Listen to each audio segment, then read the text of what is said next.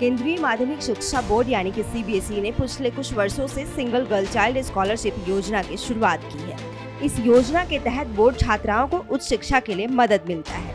छात्रवृत्ति की राशि सीधे छात्रा के बैंक खाते में भेजी जाती है। जिन छात्राओं को इस योजना का लाभ आगे भी लेना होता है, वो अगले वर्ष भी इसे जारी रख सकती है। हालाँकि इसके लिए भी उन्हें आवेदन देना होता है। केंद्रीय माध्यमिक शिक्षा board single girl child scholarship के लिए रजिस्ट्रेशन की प्रक्रिया शुरू हो चुकी है। सीबीएसई की आधिकारिक वेबसाइट www.cbse.gov.in पर इसके लिए आवेदन किया जा सकता है। छात्राओं को रजिस्ट्रेशन स्कूल के माध्यम से करना होगा।